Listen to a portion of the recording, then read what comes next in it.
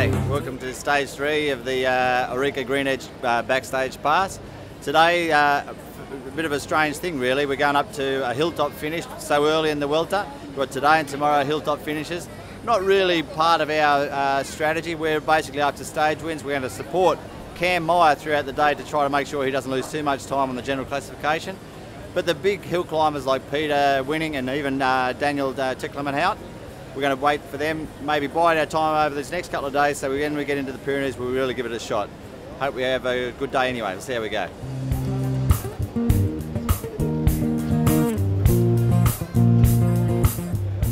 Yeah, today is uh, is uh, the first uh, the first stage for the for the GC riders. So yeah, the tactic for today is uh, yeah try to bring uh, bring Cam in a good position for the last climb and uh, support him a little bit on the last climb and uh, yeah hopefully he can make a, a, good result.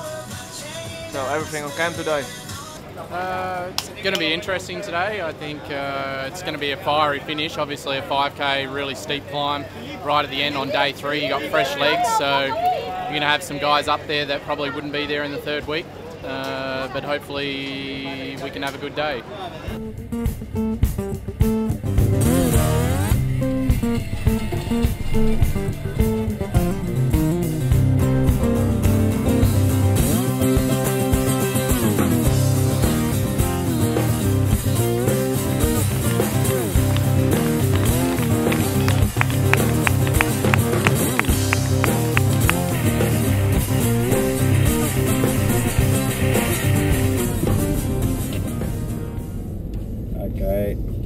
Dan and uh, Cameron, it's not enough that we just uh, get them well positioned here. We have to stay with them because there's a quite a long way before the start of the climb as well, guys.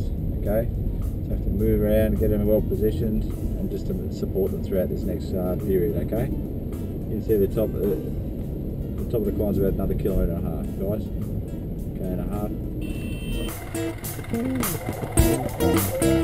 a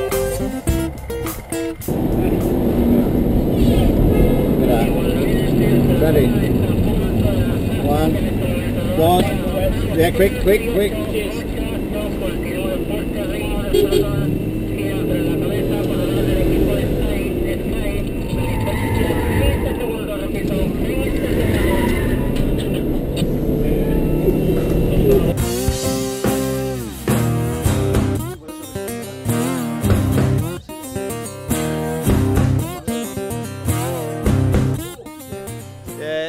okay, we'll call that a wrap. Um, yeah, we went in with um, just sort of moderate expectations, I suppose. We didn't do badly, didn't do great. You know, it's just a, another another day in the saddle, really. You know, Cameron uh, tried to not lose too much time. He lost a bit, bit more than we calculated, but anyway, at the end of the week, at the end of the race, it's a three-week race. We've just got to be consistent and see how we go.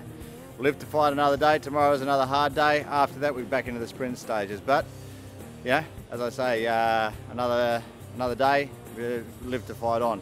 The winner of the, uh, the tweet, the retweet, the tweet, uh, Lisa Ellel. Um, anyway, back in, we're going into a nice hotel. Sometimes we stay in mountain resorts, sometimes we stay in places like this. Like I say, highs, lows, pretty places and not so pretty places. See you tomorrow.